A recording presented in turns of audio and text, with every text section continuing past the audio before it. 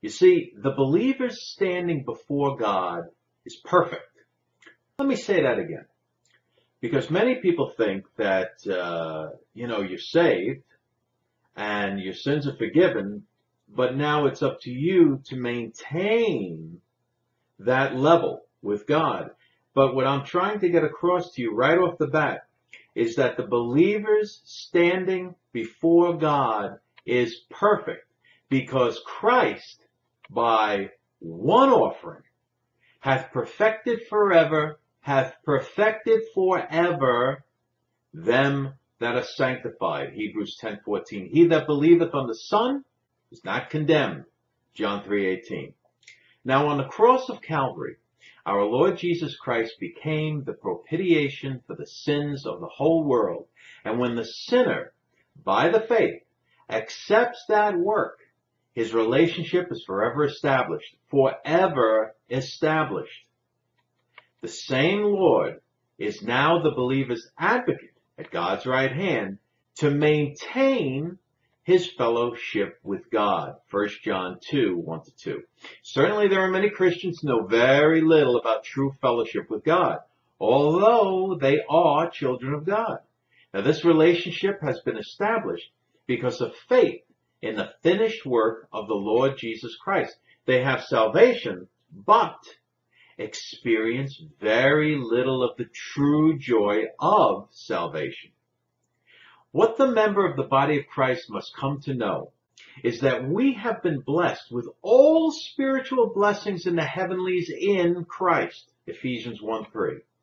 He that spared not his own son, but delivered him up for us all, how shall he not with him also freely give us all things? Romans 8:32. All are yours and we are Christ's, and Christ is God's. 1 Corinthians 3.23.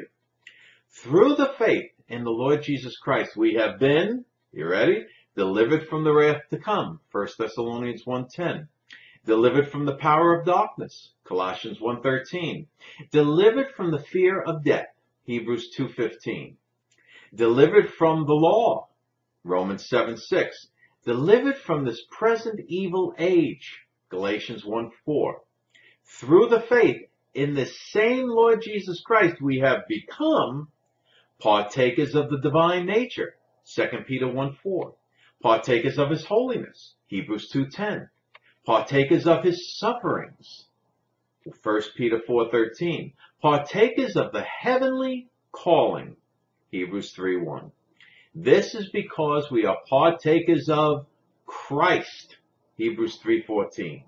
Christ is our righteousness, our holiness, and our redemption. 1 Corinthians 1:30. The Christian's spiritual resources are unlimited, but very few Christians ever learn how to possess their possessions.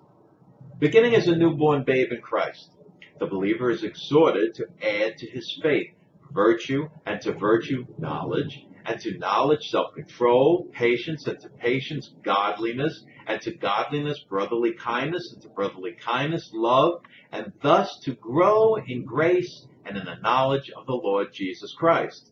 2 Peter 1, 5 to 7, and 2 Peter 3, 18. That ye might walk worthy of the Lord unto all pleasing, being fruitful in every good work, and increasing in the knowledge of God. Colossians 1.10 our God would have us abstain from the very appearance of evil. Let everyone that nameth the name of Christ depart from iniquity, so that we may be vessels sanctified and meet for the Master's service. 2 Timothy 2, 19 to 21. As sons of God, we are called to salvation, separation, service. Christ said, occupy till I come. Every member of the body of Christ should be constantly occupied with Christ and for Christ. Read about the Lord Jesus and Mary and Martha in Luke 10, 38 to 42. Martha was occupied for Jesus, while Mary was occupied with Jesus. Christ said, Mary hath chosen that good part. Luke 10, 42. Okay, so there you have it Please spread this message to everyone you know far and wide because the time really is short. Now grace be to you and peace from God, our Father and the Lord Jesus Christ. Bye bye for now.